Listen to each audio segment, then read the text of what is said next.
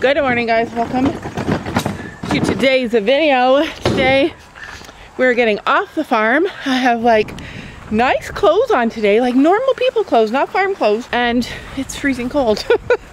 Go figure. We have our windows open today. So if you guys can hear dogs barking, it's because it's Ellie. If Ellie can hear us, then she will bark and bark and bark. She wants to be outside all the time. Hello, kitty. Come on, you goose and duck. Come on. A goose pooped on Sophie's shoe and it's falling through the holes Ugh. in her crocs. hose on. You bring me the hose. You get the hose. I have other stuff to get.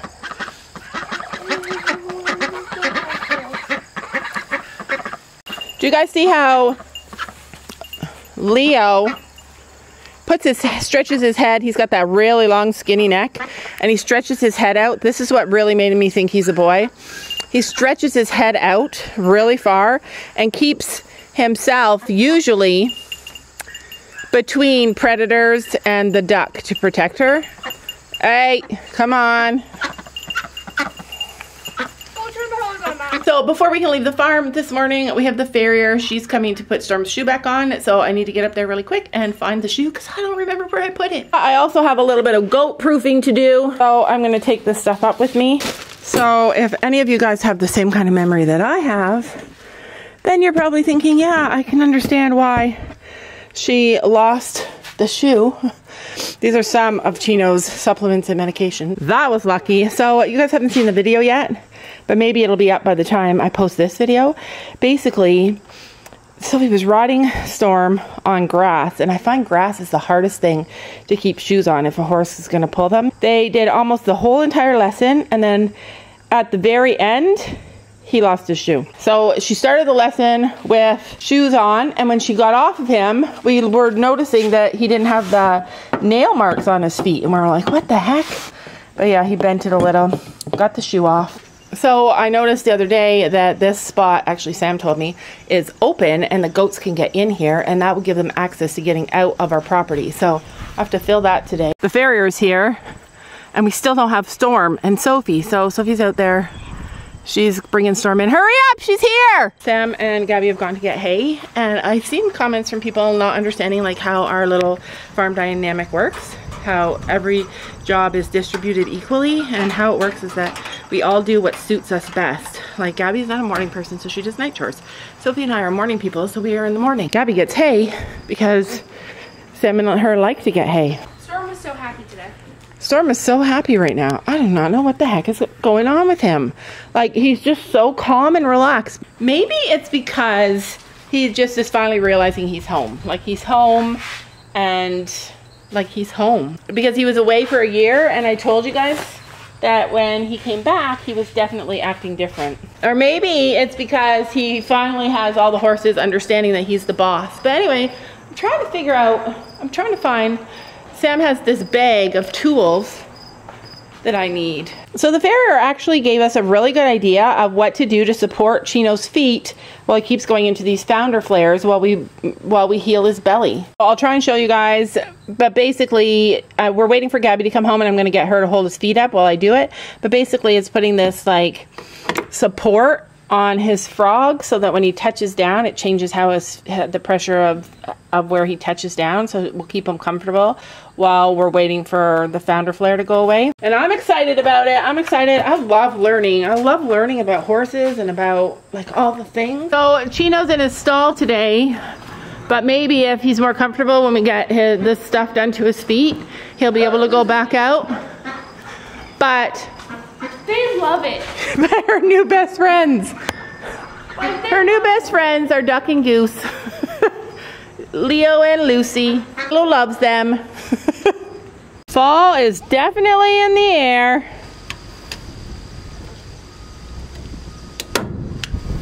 And then over here, I hate this job. I love this job. I really love building these kind of fences because they're easy. And I've never been like a builder or a renovator or I hate the staple. I like it. We're just making sure that they can't get out. All right, that is done. Next, next thing we have to do is Chino. One thing I we didn't I've never really showed you guys because it's a mess is Sam's tool area. Like in our old barn, he had it hidden away so I could never use anything. but now, I think I did show it to you before. But now, it's sitting here inside our tack room. Like, look all the screwdrivers. I know how to work a screwdriver. And he doesn't even use screwdrivers. But he has like, look at that. This is the drawer, drawer that I use everything from. But the guy has like, oh, so much cool stuff. And then he has this one too. More screwdrivers I could be using. I need toolboxes for my own. Do you know what I need? All right, Sam, because he complains when I touch his stuff. For Christmas, I want my only my own honeydew set. I want my own toolbox with all my own tools in it. That's like this, but nicer, like more girly. Christmas idea for me. You ready? Don't do Christmas. So for Christmas. So for Christmas, I want my own tool set. One that's tall, not a skinny little tiny short one that I have to bend over for, but one heck's a tall tool. like yours, your toolboxes, like that. But if you could find a pink one, that would be great. If not, I'll take. They could have pink. Bet you you could find pink. Yeah. And I want all my own set of tools. I want my own staple gun and staples. I want my own pliers. I want my own screwdrivers. That's a fortune. Good. I'm worth it. Doesn't have to be fancy. Just my own set. Okay? Always good to have good Christmas ideas for people, but I would love that. I like to have my own set because there's so many things that I would do if I could like figure out the tools and master them. You get used to using tools by a process. Like nobody just picks up a screwdriver. Okay, screwdrivers are easy. But people don't pick up drills and just know how to use them. You get used to using them. I've never ever had that. I've always like had someone else do that stuff for me. So I've never learned tools and I, I want to learn tools. I hear goats and they made it to the little area that I need to clean. Um, see there's a fence in between to stop the horses from going into that mess, but the goats can get in there and that's good because they're eating all the tall grass and weeds. Uh, all that needs to be cleaned up. I need to cut some trees today because uh, Gracie wouldn't go in this field because the the big branch was moving with the wind and it scared her. So we increased Chino's pain meds today. That's why his eyes get all weird because he honestly, uh, it's just the pain meds, but he has an ab, he's probably getting an abscess and he's having a founder flare because he ate a few leaves from the tree. Sam, can you go cut down that tree while we finish up? That's the hard part is that like we try and make his environment perfect for him, but he's so big and he's like so determined to eat grass and to eat leaves even though we're trying to keep him going so that he doesn't get more sick. He doesn't under, he doesn't understand that he can't have leaves. Do you? Anyway, I'm helping Gabby fix his feet, put some stuff on his feet. She's making a duct tape boot, two duct tape boots. Because our farrier told us an idea of how to like take pressure off so that he can walk and be more comfortable. And I'm just snuggling with him. I'm literally just snuggling with him and it makes me tear up because like, oh, if he would just let us do what we have to do to help him be safe, then it would be great. And he might have to spend the rest of his time in a stall, but the problem is that when he stands in a stall all the time, he gets depressed because he's sad that he's not with his friends, and then he doesn't eat as well. And when he doesn't eat as well, his immune system goes down, even though we're pumping him full of so many things. It's just this whole situation where it's it's frustrating. Like we take two steps forward and then we go one step back. And I know that people have been saying like they can go backwards on the medication while because their stomach gets bad and that's the problem. Like all the drugs are compounding the, the issue. His tummy isn't good, the bacteria in his tummy isn't good and we're, we're trying to like fix that as he's on the drugs. But him going out there and reaching up, he's like literally jumping up to reach the trees because we have it already so that he can't just stand there and eat the leaves.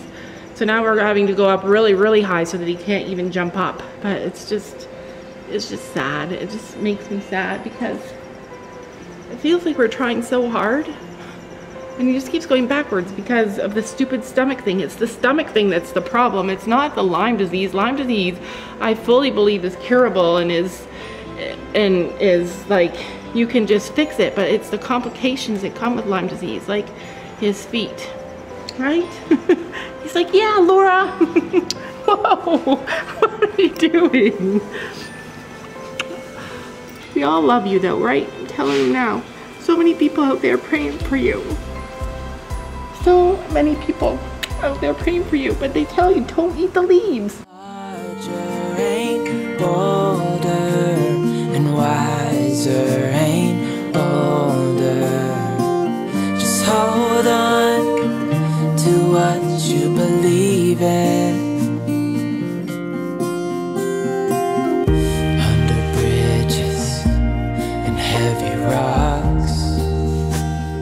we keep on dancing. Yes, we've traveled far, seen so many dogs. What we ended up doing was putting some padding on his frog. So it changes the way he walks. He's still a bit nervous to walk. We ran out of duct tape, so we have a duct tape boot that we put on instead. Oh, there he goes. It's gonna be a whole new thing for you. Anyway, we're gonna go and get some more supplies because we ran out of duct tape and also the what's the vet wrap. So we're gonna go to the tack store right now and get some of that stuff and come back. This guy is doing so well on the antibiotics. I suspect he's getting an abscess. So anytime he eats anything green or even any extra hay, extra grain, like anything more than his body is already used to, he it causes him uh, to have abscesses or to have a founder flare, which is like the thing I'm most scared of because with a founder flare, there's always a chance of rotation and we're keeping up on it to make sure that he's okay. But every time he has a founder flare, he can have rotation. And if the rotation gets bad, then that's the end of the line. So that's why no green stuff, mister. the goats are making me laugh so much. Like I love seeing them around the whole property. And the horses are loving them. They're, they love watching them. They're just hilarious.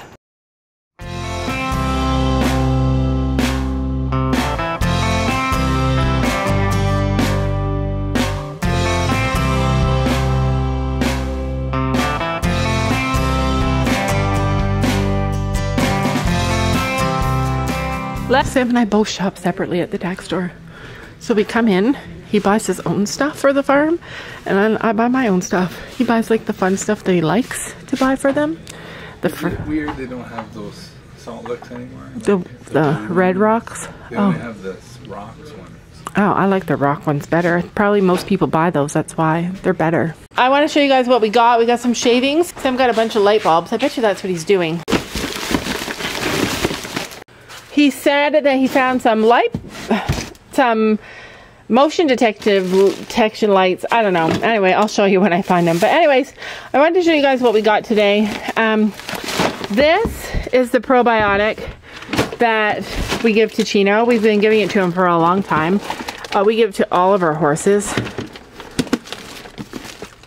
It's not making a difference at all. It's supposed to be one of the only ones that I can get in this area that has live bacteria in it. I've been looking. But I've been talking to the girl that that works at the tack store and she uh, had a call out to the to the company. This company, I love this company. We use a lot of supplements for them this company.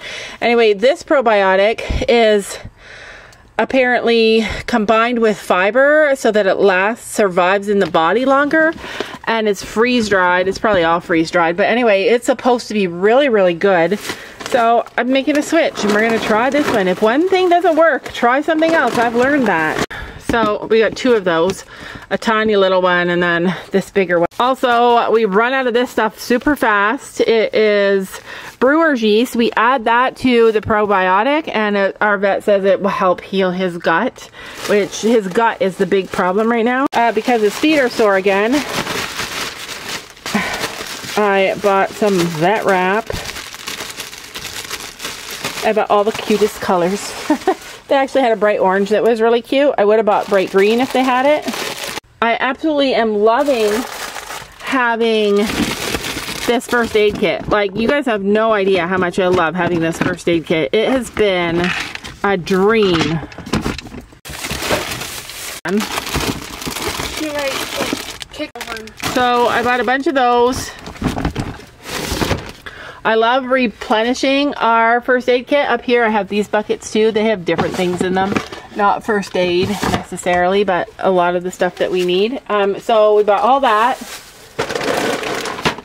We bought more treats because we keep running out. They didn't have any big bags there. I love to buy the big bags. Another thing that we give to Chino, which I love, is this Vantiox. And we've been giving him this for a long time too, which is so shocking that the boy could be so run down. It is um, an antioxidant. It's for muscle protection, and that's what he needs. It's full of vitamin E and selenium and zinc. And whoops, so I love that. So um, then he gets his then he gets his antibiotics, he gets pain pills, he gets anti-inflammatories. Like, it's not new what we've been doing for this horse to try and, it's not like he just suddenly got sick and we've been trying to fix him. We've been, we've been supporting his health for a really long time. It's just, stress got the best of him and he got run down. He stopped eating because he got stressed. And then it just all got worse from there. So the one change that I'm going to make though is that we put all of his his powders in his grain and the girl and Gabby and Sam say that he isn't eating it all like they leave it he leaves some so instead of putting it in his grain I'm gonna syringe it into him and make sure that he gets it so that he's getting exactly what he needs so I also got some more pylons I feel like if I threw these for Honey, she would chase them. I feel like she would too. Sophie was going to play with Honey with them. But our her Western trainer wanted her to use pylons in her lesson for like markers and stuff. And I bought some just a couple weeks ago, just before we moved actually. And I don't know, I, I have no idea where they are. Trailer Yeah, so anyways, I haven't seen them since we moved, so I ended up buying a bunch more. You can never have enough pylons, especially when Molly thinks it there for her. So we made our own bug spray. I had a recipe that I used. I shared it in a video. And people are asking if it works good. It works amazing. It works at least as good as this Ultra Shield. So it's good.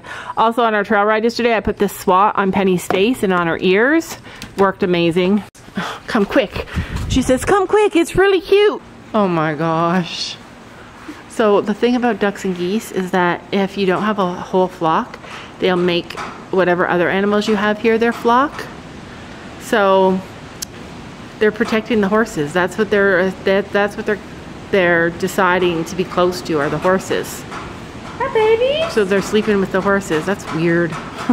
so we're not keeping him in his stall on purpose. When his feet get sore, it's hard for him to walk and it's not good for him to walk around. So um, if he can walk out, he can go out of his stall, but he wasn't able to walk out this morning. He was too sore. He wants out. Good boy. Total success. He's like fine. So the farrier had us pad up his feet a certain way to help him, and it's definitely helping him. So anyway, we cleared out the trees. Even better than we did before, but that's the problem. Uh, other supplements that all of our horses take, including Chino, are oil, um, and Penny gets this, this pure glucosamine, just as a, just as a support for her. Oh boy!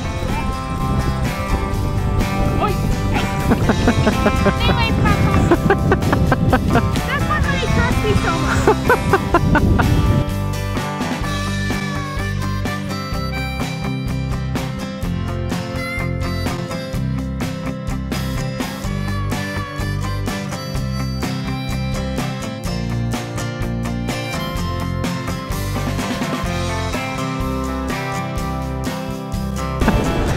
And there's my old girl coming.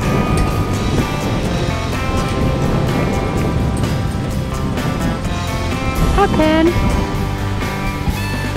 Hi, sweet girl. Yeah. Yeah, I love you.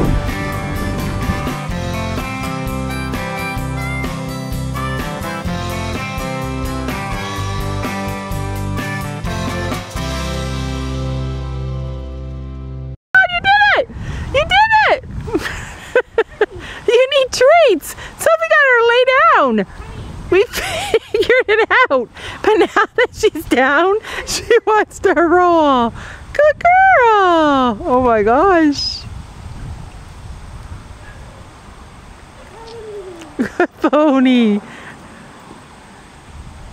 I'll go get treats. Do you want me to get treats? Oh, now she's down there. She's eating the grass. Do you want me to go get treats? So she tried to pick up her feet. You want me to go get treats? She's so snuggly. Gracie's over there like all the other horses were worried about Honey and now they all went back but Gracie she's like I need my baby. So on today's episode of What Can We Renovate Sam is taking over the trees. Did you drag some branches down to the goats? Whole bunch down there. Did they come running?